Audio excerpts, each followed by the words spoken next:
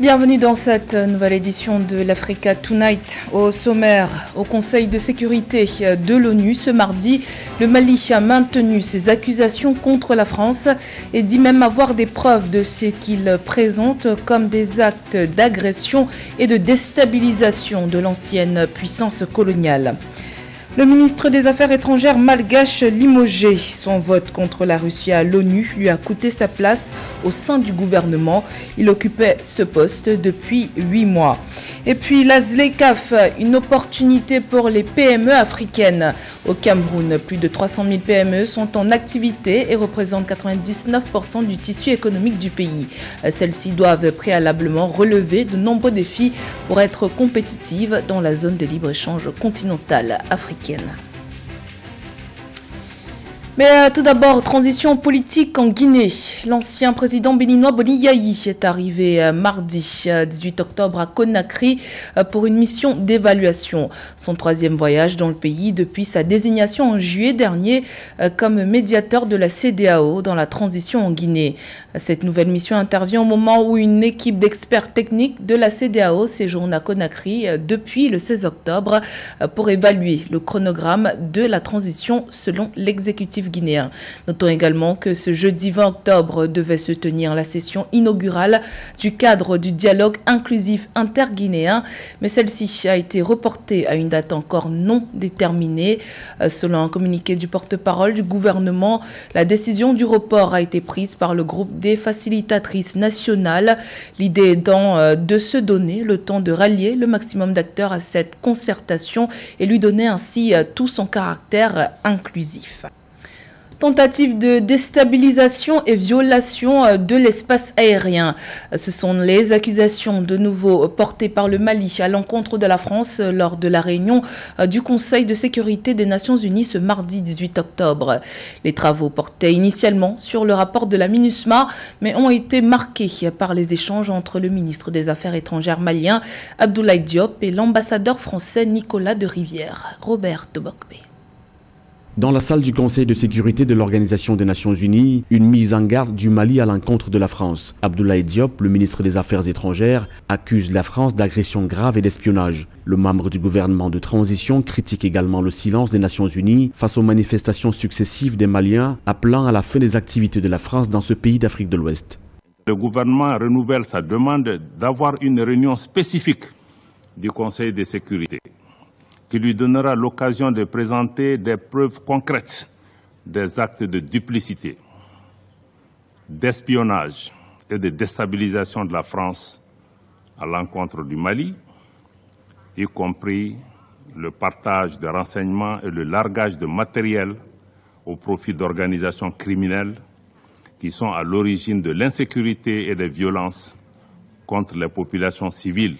Les tentatives de déstabilisation et les violations répétées de l'espace aérien du Mali par les forces françaises, telles que le formule le ministre des Affaires étrangères, font suite à des précédents déjà condamnés plus tôt par Abdoulaye Maïga, le premier ministre par intérim du Mali, lors du débat général de la 77e session de l'Assemblée générale des Nations unies. L'ambassadeur français, Nicolas de Rivière, s'indigne et demande des preuves.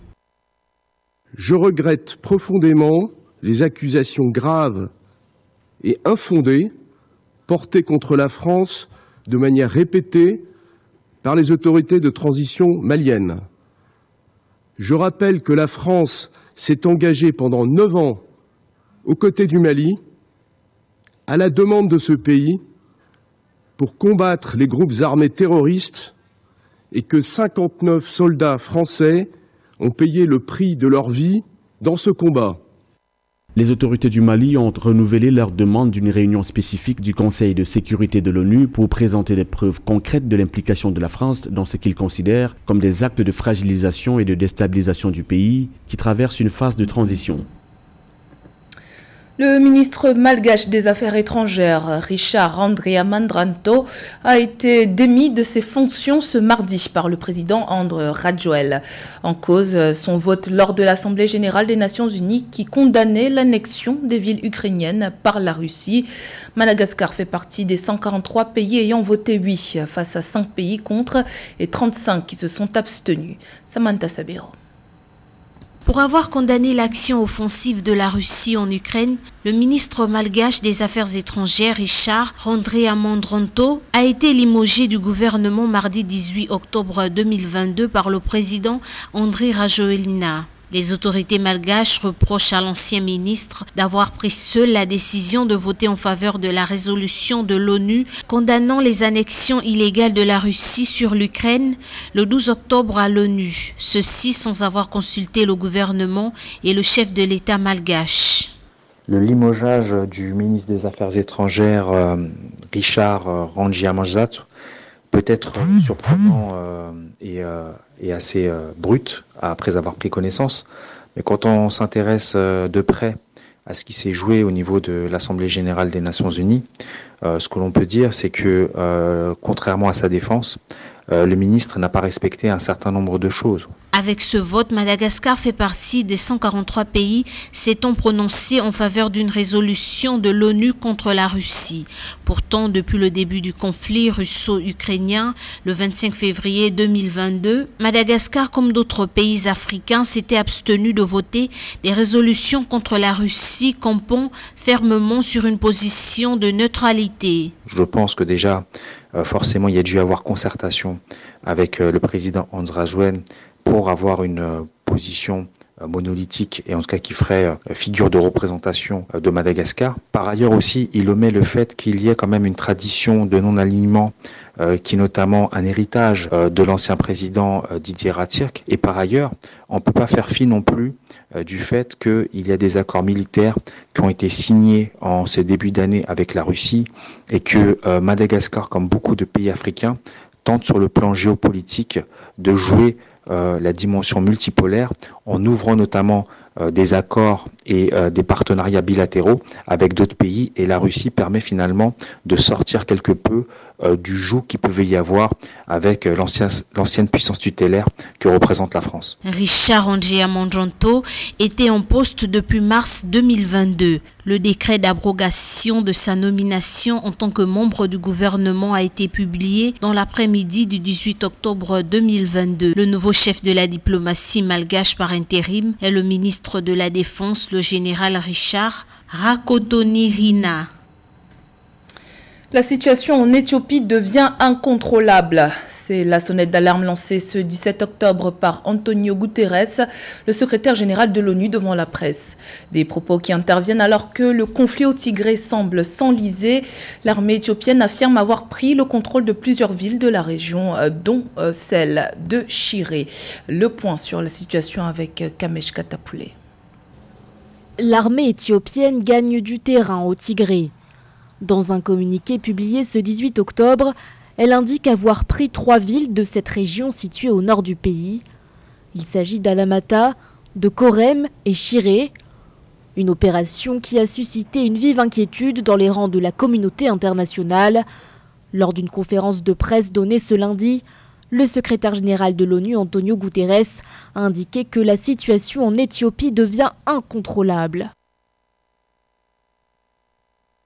La violence et la destruction ont atteint des niveaux alarmants. Le tissu social est en train de se déchirer.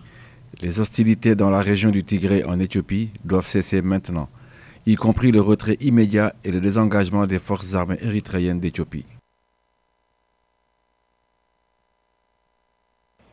Outre l'ONU, l'Union africaine a également lancé ce 16 octobre un appel au cessez-le-feu. Un appel entendu par les rebelles tigréens qui s'étaient dit prêts à respecter une cessation immédiate des hostilités. Si de son côté le gouvernement éthiopien affirme être favorable à des pourparlers de paix, il n'entend toutefois pas renoncer à sa stratégie militaire dans la région en proie à un conflit qui perdure depuis près de deux ans.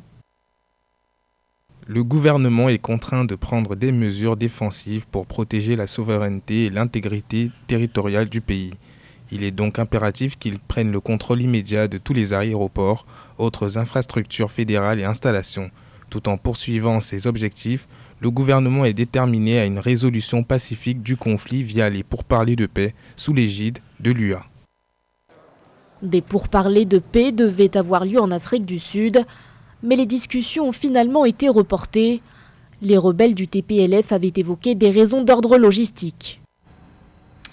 Toujours dans l'actualité, lancement d'un fonds d'investissement pour dynamiser l'économie au Maroc.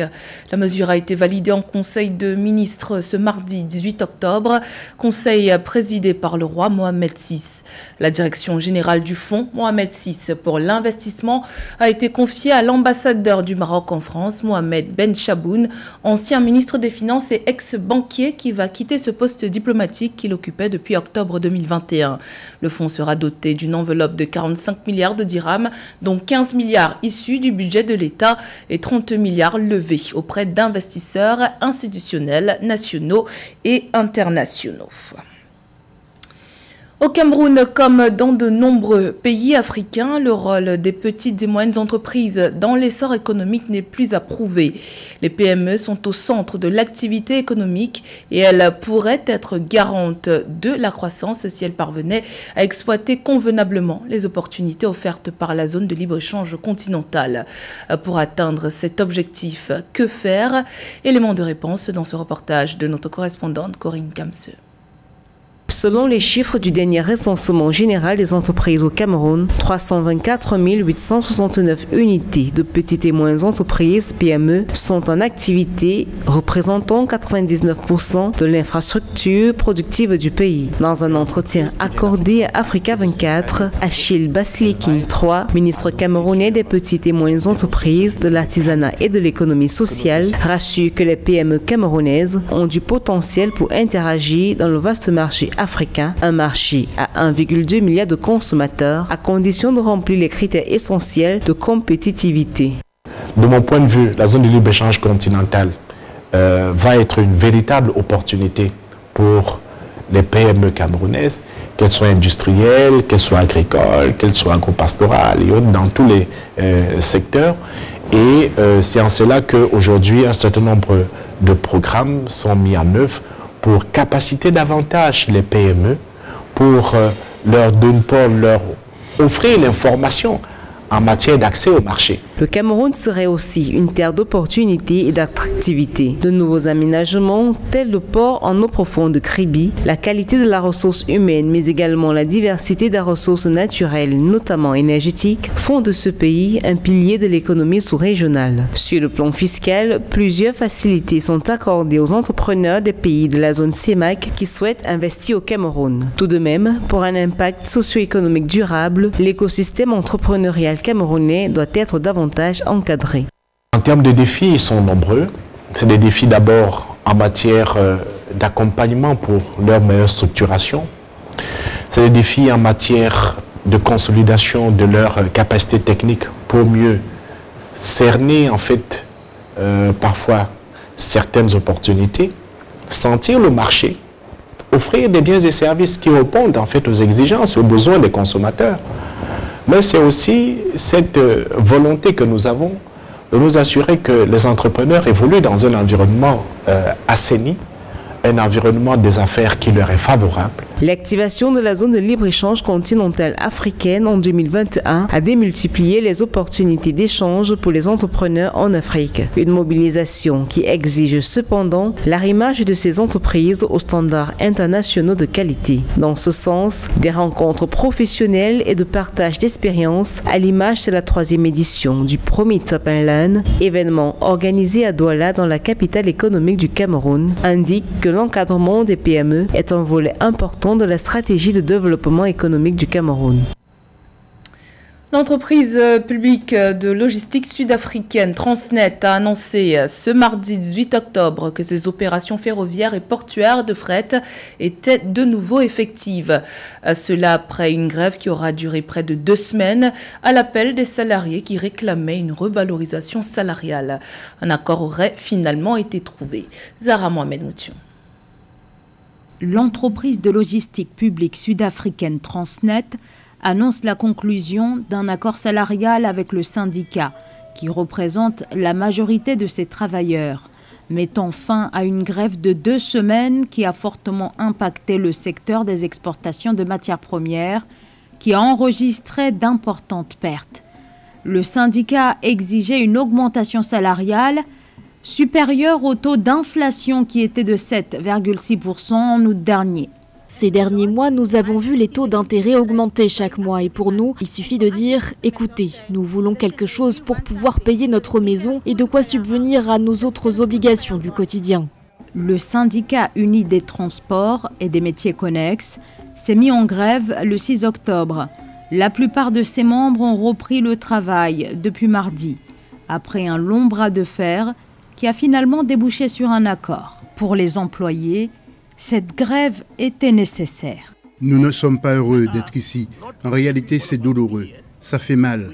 Si vous voyez des gens chanter, scander ici tous les jours, vieux comme jeunes, c'est parce qu'ils ont mal. Ils sont là pour le syndicat, ils sont ici pour leur famille. La grève a entravé les opérations ferroviaires et portuaires de fret de l'entreprise Transnet, y compris au niveau du port de Durban, l'un des plus actifs du continent africain. C'était le journal de la rédaction. Merci pour votre fidélité. Dans un instant, une nouvelle édition de l'actualité sur Africa 24.